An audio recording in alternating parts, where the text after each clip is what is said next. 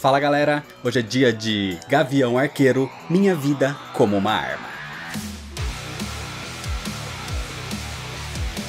É uma história da Marvel, escrita por Matt Fraction e desenhada por David Aja e Javier Pulido no ano de 2012.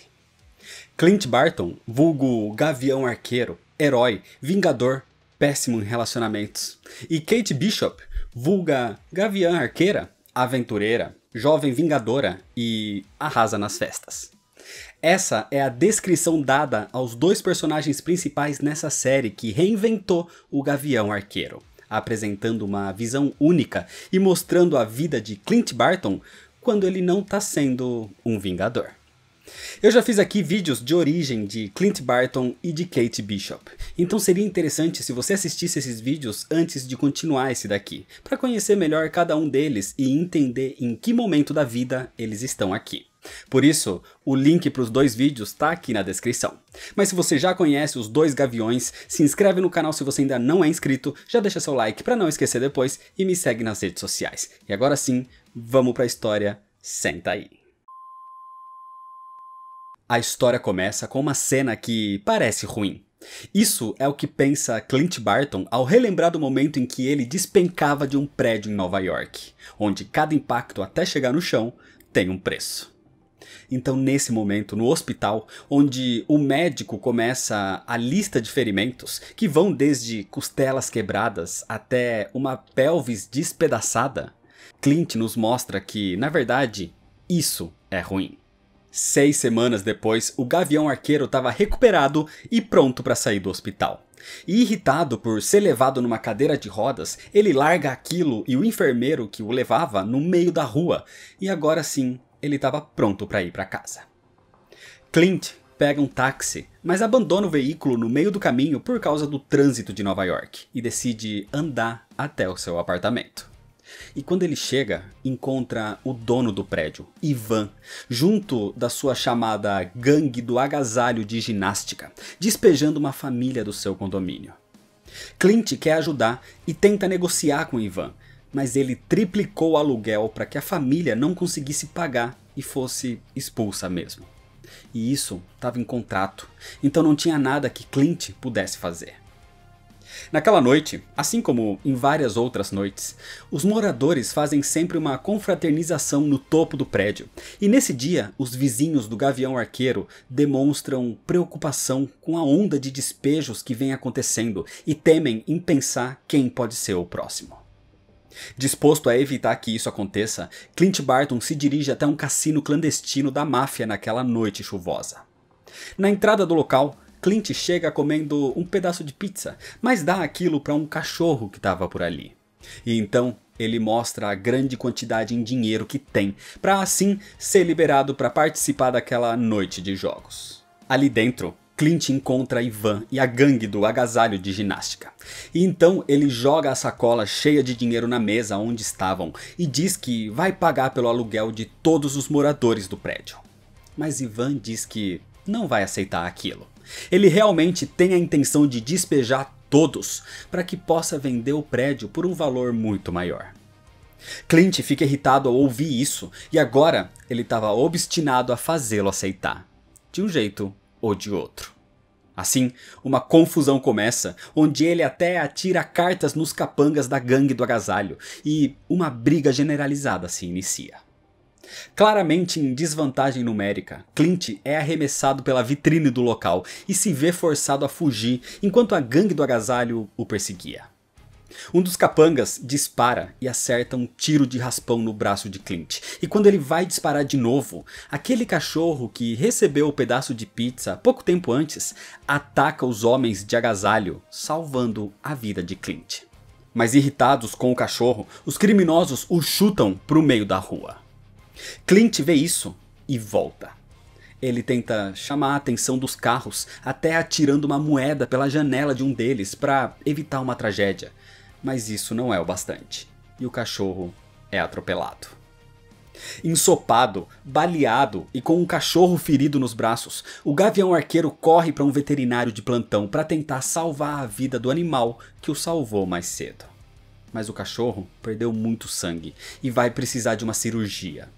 As chances de sobrevivência são baixas, mas Clint diz para que eles façam de tudo para salvá-lo. O problema é que enquanto espera o resultado da cirurgia, Clint é encontrado por Ivan e pelos seus capangas. E antes que eles dissessem qualquer coisa, Clint vai para cima deles.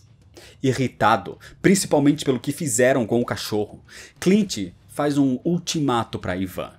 Já que ele quer vender o prédio, então ele vai comprá-lo. E queira ele ou não, Ivan vai aceitar essa oferta. Assim, o homem vai embora, ao mesmo tempo que o veterinário vai até Clint e diz que o seu cachorro estava bem.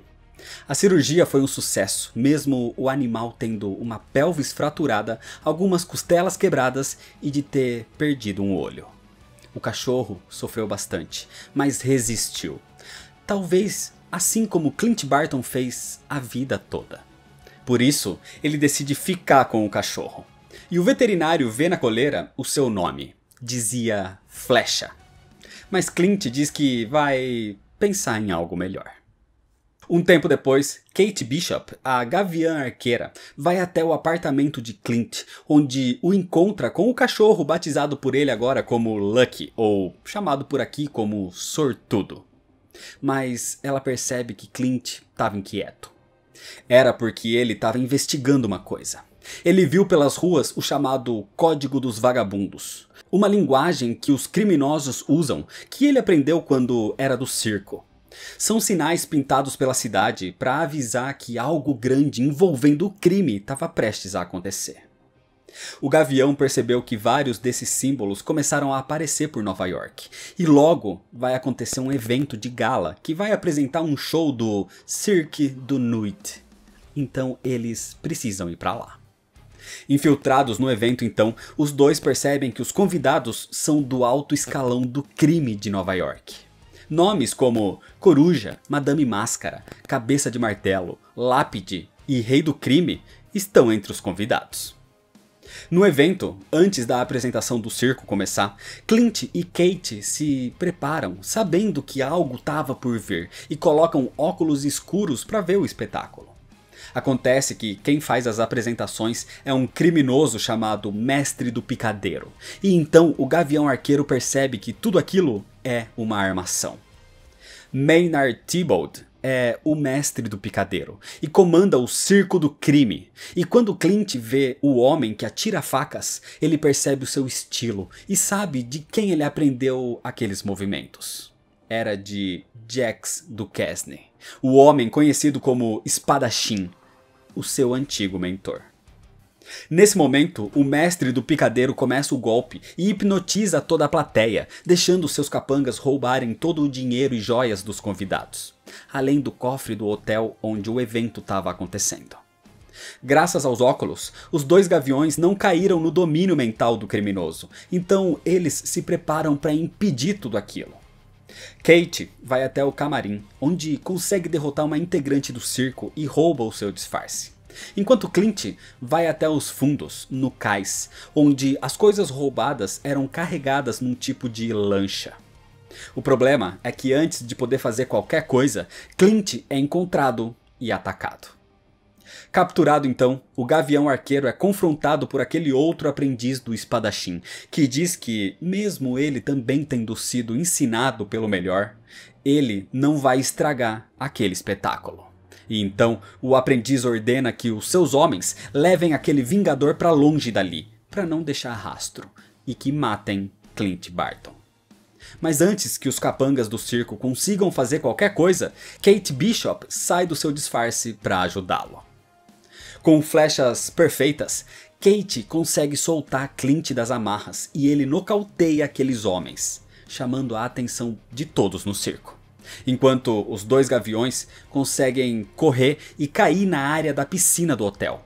E assim que eles caem, Kate dispara suas flechas e ela atinge os olhos do mestre do picadeiro. Assim, deixando o vilão cego para sempre. Mas ainda faltava confrontar o aprendiz do espadachim, que chega para uma luta mortal de espadas, seguindo o código dos espadachins. Mas Clint não seguia esse código, e ele simplesmente atira uma flecha especial que rebate numa parede e o golpeia na nuca, deixando aquele homem nocauteado. Com isso, os dois gaviões vão embora pelo cais naquela lancha carregada de pertences e dinheiro dos maiores criminosos de Nova York, numa espécie de ladrão que rouba ladrão. O problema é que um tempo depois, percebendo do golpe que sofreu, o rei do crime diz aos outros criminosos que eles foram roubados por um vingador e eles deveriam tomar uma atitude com relação a isso. Assim, Clint fica marcado pela máfia. Depois de tudo isso, com tudo mais calmo agora, Clint e Kate conversam sobre como a parceria deles funciona. Como Kate é focada e inteligente. E Clint oferece que ela se mude para o seu apartamento e assim se torne definitivamente a sua aprendiz e a sua protegida. E Kate aceita, porque além de aprender mais sobre a vida de um Vingador, eles têm muito que resolver ainda pelo mundo todo, mesmo que seja uma boa começar pelo seu bairro primeiro. Depois da mudança, Kate e Clint decidem organizar as flechas especiais que têm. Para isso, Clint sai para ir atrás de uma loja de adesivos para identificar as flechas pelo nome e pela função. Só que antes de encontrar as etiquetas, Clint encontra uma garota com o carro dos seus sonhos, um Dodge Challenger de 1970. Clint então desvia da sua busca por etiquetas e pergunta se o carro está à venda. E a dona, uma jovem ruiva e muito bonita, diz que tudo é negociável. Então ele decide comprar o carro, mas pergunta se ela pode lhe dar uma carona até um banco e depois para uma loja de etiquetas. Mas depois que eles vão para o banco, eles desviam do caminho quando param no apartamento dela por alguns minutos. A garota então agradece pela compra do carro e diz que tem um avião para pegar urgente. E Clint então, tom de brincadeira, pergunta em que tipo de problema uma garota como ela se meteu para vender o carro e pegar um avião urgente. E antes que tenha alguma resposta, a gangue do agasalho de ginástica invade o quarto e começa a disparar contra os dois. Em menor número e completamente sem roupas, o Gavião Arqueiro é nocauteado e a mulher é levada pela gangue. Em alguns minutos, ele retoma a consciência e Clint liga para Kate Bishop pedindo a sua ajuda para o resgate da moça e do seu novo carro. Até porque as suas coisas ficaram lá dentro, inclusive com uma flecha rastreadora. Assim, Kate chega no seu Fusca roxo e parte atrás do Dodge Challenger. Dentro do outro carro, enquanto para num semáforo, o membro da gangue do agasalho que dirigia diz para a garota ruiva que ela não deveria ter roubado aquele carro, porque agora ela estava morta. Mas antes de continuar, o Fusca de Kate se aproxima e acerta o carro em cheio. Assim, Clint recupera aquele carro e dispara uma flecha pastosa para deixar aquele capanga preso ali no asfalto e com a garota amarrada no banco de trás, Kate dirige o mais rápido possível, porque outros quatro carros da gangue do agasalho correm atrás deles agora. Nessa fuga, Clint usa o máximo de flechas que consegue. Todo o seu arsenal com flecha explosiva, flecha de cabo, flecha bomba de fumaça e até uma flecha foguete. O problema é que mesmo se livrando de três daqueles carros, o quarto os alcança e os dois carros capotam no meio de uma ponte. Clint bate a cabeça e apaga por um momento. E quando desperta, o integrante da gangue está mirando uma arma para ele e outra para Kate, enquanto Kate mira uma flecha no capanga. O homem quer que Kate lhe entregue aquela mulher ruiva e o carro. E Clint grita dizendo para que Kate solte a flecha. E, no meio do impasse, ela faz isso. Ela dispara para cima, numa das vigas da ponte. Achando que venceu aquela disputa, o capanga comemora, mas ele é acertado na nuca e é nocauteado. Assim como Clint já tinha feito um tempo antes. Por isso, ele batiza aquela de flecha boomerang. Com isso resolvido por enquanto, eles vão embora. E então, naquela noite, com o seu novo carro completamente destruído, Clint Barton deixa a misteriosa ruiva no aeroporto, sem saber o seu nome e nem por que ela estava sendo caçada. E depois disso tudo, antes de ir embora, ela se despede e o beija. E é claro que eles vão se ver de novo no futuro. Algum tempo depois, durante um dos churrascos no topo do prédio de Clint, Kate pergunta quantas pessoas o Gavião Arqueiro já matou. Clint fica incomodado com a pergunta, e o vizinho churrasqueiro diz que Clint nunca matou ninguém ou ele não seria um vingador. E antes que possam se aprofundar no assunto, o aeroporta-aviões da SHIELD aparece e pega o Gavião Arqueiro. Dentro da aeronave, ele é informado pela diretora Maria Hill e pelo Capitão América que uma fita de vídeo da Operação Eucrita foi roubada, e eles têm informações de que em 72 horas a fita vai a leilão na ilha de Madripoor. Assim, Clint volta para casa, já de noite, e diz para Kate que está sendo enviado numa missão muito perigosa e ele deve ir sozinho. Ela não pode ir junto dessa vez. Aquilo era assunto para um Vingador. Com isso, Clint se despede e vai até Madripoor. Chegando lá, Clint pega um táxi, mas Madripoor é o paraíso dos criminosos. E quando ele cochila, o próprio motorista do táxi tenta roubar sua carteira. E Clint acorda para evitar isso, mas não evita que outros ladrões de rua o roubem. E eles levam a sua carteira e os seus documentos. Mesmo assim, Clint vai até o local onde vai acontecer o leilão, no Pérola de Madripoor, o maior hotel de luxo da ilha. Mas ao entrar no cassino do lugar, ele é imediatamente capturado. Clint Barton é interrogado e torturado numa sala escura por homens que querem saber o que ele faz ali. Até que a Madame Máscara aparece e ela mesma interroga o Gavião. Assim, ele fala que tá ali para dar um lance numa fita, porque o conteúdo da gravação é ele matando uma pessoa. Um vingador cometendo um assassinato. Por isso, a fita vale muito para Shield. A Madame Máscara então encontra com ele um cartão de crédito sem limites dado pela agência para fazer os lances e ela agora estava disposta a comprar essa fita. Pouco tempo depois, então, o leilão estava prestes a começar com os convidados como a Hydra, a Ima, o Rei do Crime, o Mandarim e vários outros criminosos. E quando os lances começam na casa das centenas de milhões, a Madame Máscara usa o cartão da Shield e dá o lance de um bilhão de euros, batendo qualquer outra oferta. Assim, ela volta com a fita em mãos para o seu quarto e tira sua máscara.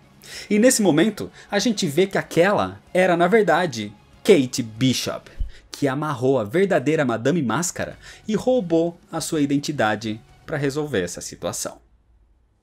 Enquanto isso, amarrado num outro quarto e cercado de ninjas do tentáculo, Clint se lança contra a janela do hotel para uma queda livre. E enquanto isso acontecia, Kate assistia aquela tão desejada fita e vê o Gavião Arqueiro matando um ditador chamado Duke Fen. Mas o barulho causado por Clint alerta os seguranças da Madame Máscara, que entram no quarto onde Kate estava e descobrem a farsa. Clint, ainda em queda livre, não estava ali sozinho, porque a SHIELD estava de suporte, e o Gavião Arqueiro é resgatado nesse momento por Maria Hill num tipo de moto voadora. E juntos, eles conseguem se desfazer dos ninjas do tentáculo que os perseguiam. E enquanto isso, a verdadeira Madame Máscara reunia todos os integrantes do leilão para revelar a farsa criada pela Gavião Arqueira mas ela é interrompida pelo Gavião, que invade o salão naquele momento, sendo levado por Maria Hill, e com uma flecha de impacto, ele destrói as janelas e pula para o resgate da fita e de Kate. E mesmo cortando o pé ao pisar num caco de vidro, os dois gaviões enfrentam vários integrantes da Hydra, da Ima, e correm em busca daquela fita que ficou no quarto da Madame Máscara.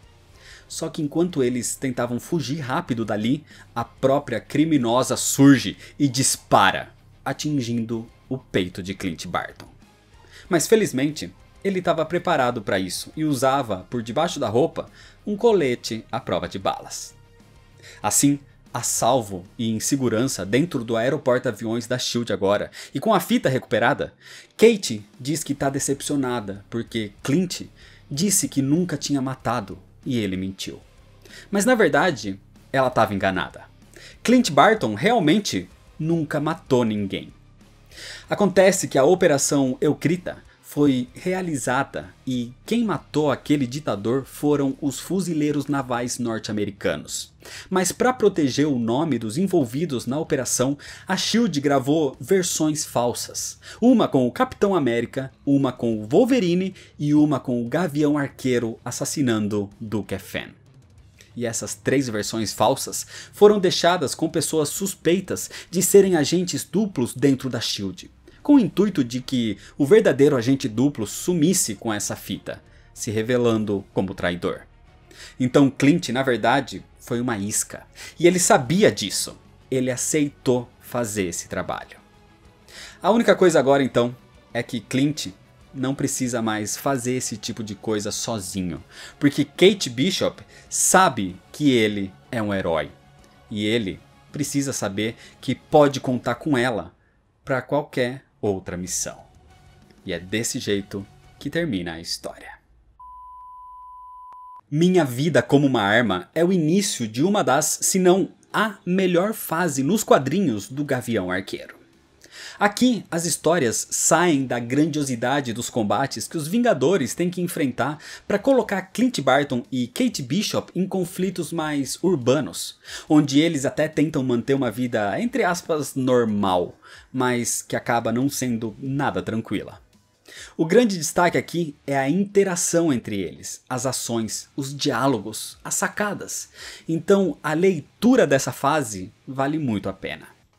A escrita é inteligente, o humor é leve e descompromissado, os personagens são ótimos, inclusive com destaque até para o cachorro, que no futuro ganha edições exclusivas que são até mesmo premiadas.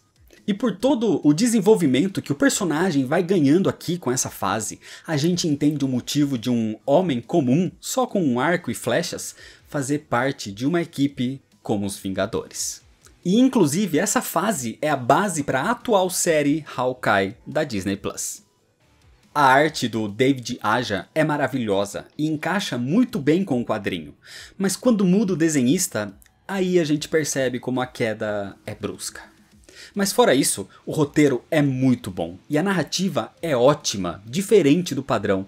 Cada edição parece ser um tipo de missão diferente, mas é como se fosse um episódio de uma série, onde no fim dessas pequenas jornadas você termina conhecendo muito mais a personalidade de cada um e vai vendo que alguns eventos começam a se conectar.